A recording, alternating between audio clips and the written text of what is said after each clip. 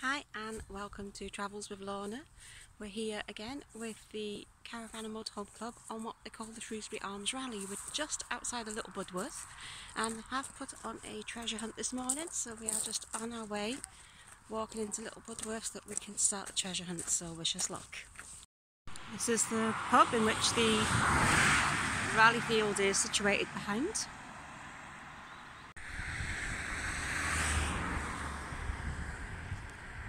We have alpacas and chickens in the field. Okay, so we are at the Egerton Arms in Little Budworth, just outside of Tarporley, Cheshire. And this is where the treasure hunt is going to start. So we are walking through the town of Little Budworth, trying to answer all the clues on the treasure hunt on the way. Doing okay so far, we think.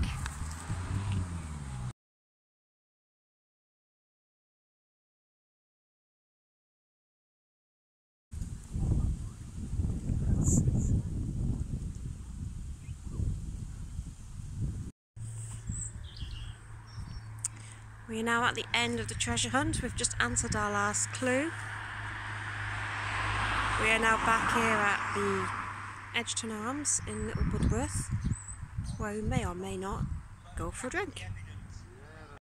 So as we walk over to the Egerton Arms, I just had to show this because I just thought the little entranceway with all the little bits of stained glass on it. I just thought it's just quaint and quite pretty.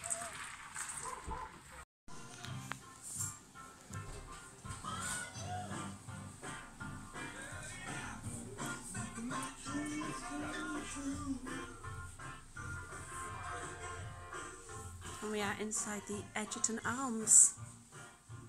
Do hot food, different beer festivals, gin festivals. The Egerton Arms is actually quite large, there's more dining areas through this side.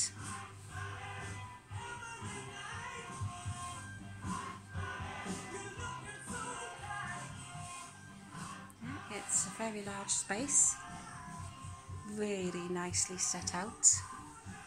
It's got that old quaint feel to it, you've got all your beams.